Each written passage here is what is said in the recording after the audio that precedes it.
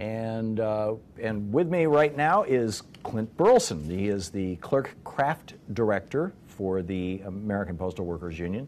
Um, uh, apwu.org is the website. Clint, am I mispronouncing your last name? You got it right. Oh, Perfect. great. Yeah. Well, thank you.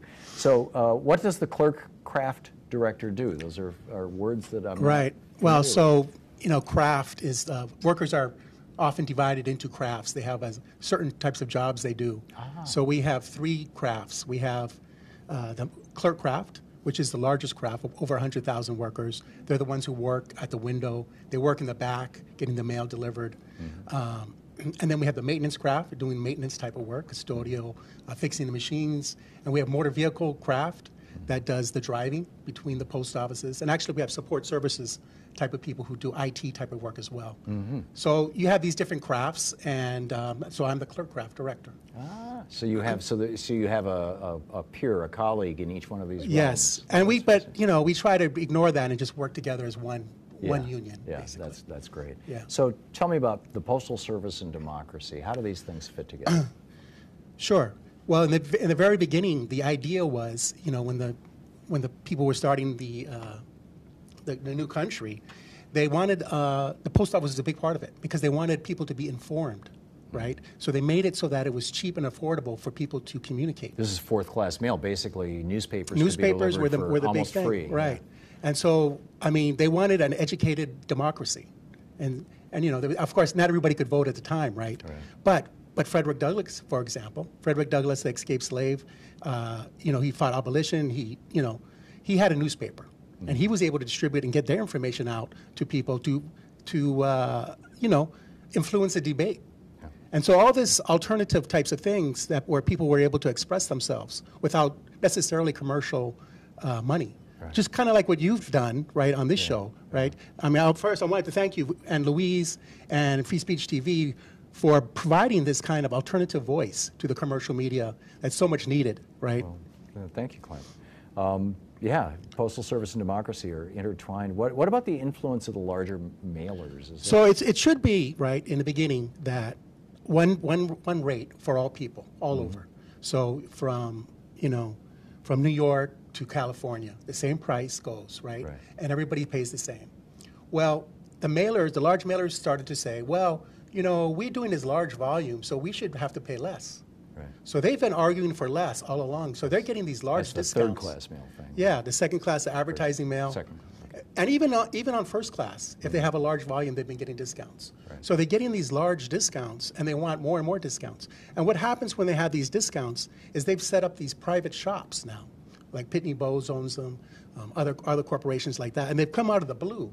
So you have these corporations pre-sorting the mail for these discounts, and the owner is making millions, and the workers are making like minimum wage. And so there's a transfer of work also from the post office where there's union jobs paying decent wages.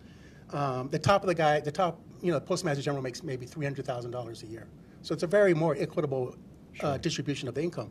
And then you go to the private, and the workers are paying minimum wage, and the CEO is getting eight million dollars a year. Wow.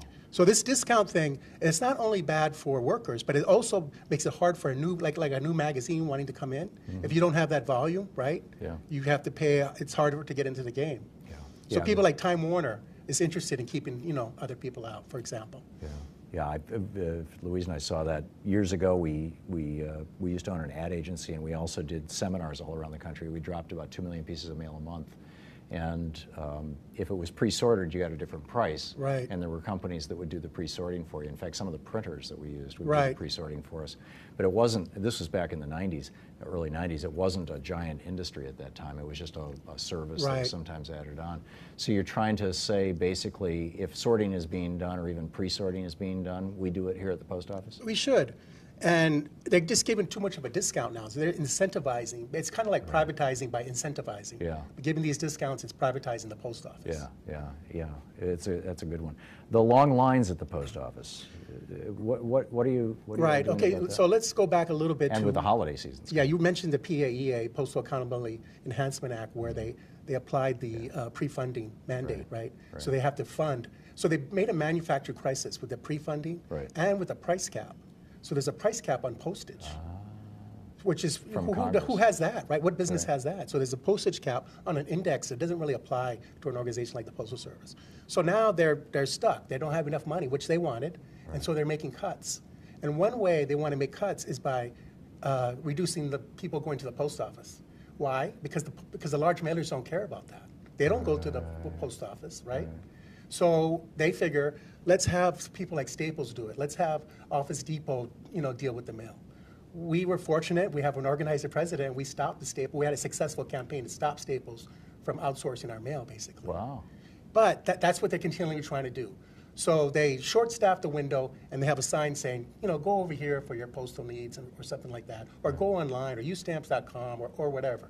So they're, they're encouraging people to go away from the post office. And, the, and who benefits? The large mailers are benefiting because it kind of reduces their overall institutional costs. Yeah, remarkable. Clint Burelson, he is Burelson. He is the clerk craft director here at the American Postal Workers Union, apwu.org. Clint, thanks so much for being with us. Thank you very much.